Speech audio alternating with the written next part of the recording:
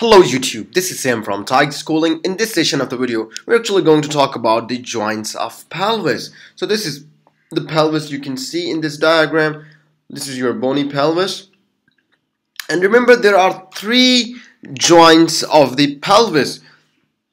The three important points or the three important joints in the pelvis are sacroiliac joints which is right over here. This is there you got the sacroiliac joint between your sacrum and ilium.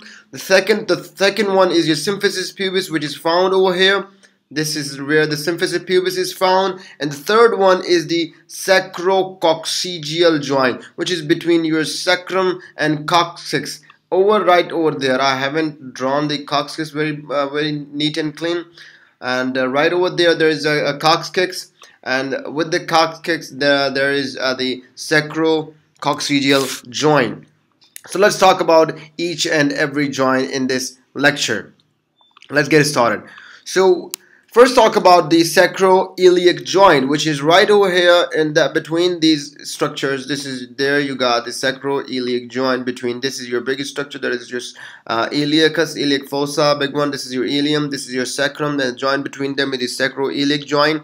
And this joint is your synovial joint remember this one. And which is um, which is actually uh, its primary function is to transfer weight of the body from your vertebral column to your bony pelvis. So this is kind of uh, transfer your weight of the vertebral column bringing from upper trunk to your to your bony pelvis and the nerve supply which uh, of the sacroiliac joint is from the branches of your sacral spinal nerves so this is about your sacroiliac joint. The second joint is this one right over here which is called the symphysis pubis.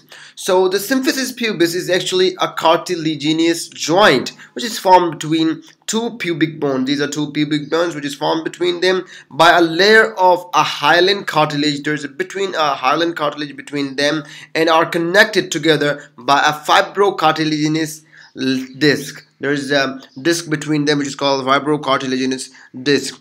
That's the uh, second joint, which is the symphysis pubis in front anteriorly. And the third joint, which is the sacrococcygeal joint. Let me show that in the other diagram, sacrococcygeal joint. Let me put it back uh, right over there. There you go.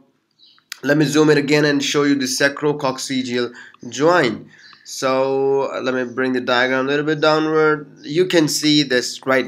This is your sacrum and that is your coccyx. The joint between them right over there the joint between them right over there you got your this joint is called the sacrococcygeal joint. This is your sacrum that the last bone is your coccyx. So the joint between formed between them is sacrococcygeal joints it is also a cartilaginous joint uh, which is uh, which is formed between the last sacral vertebra and your sacral coccygeal vertebra.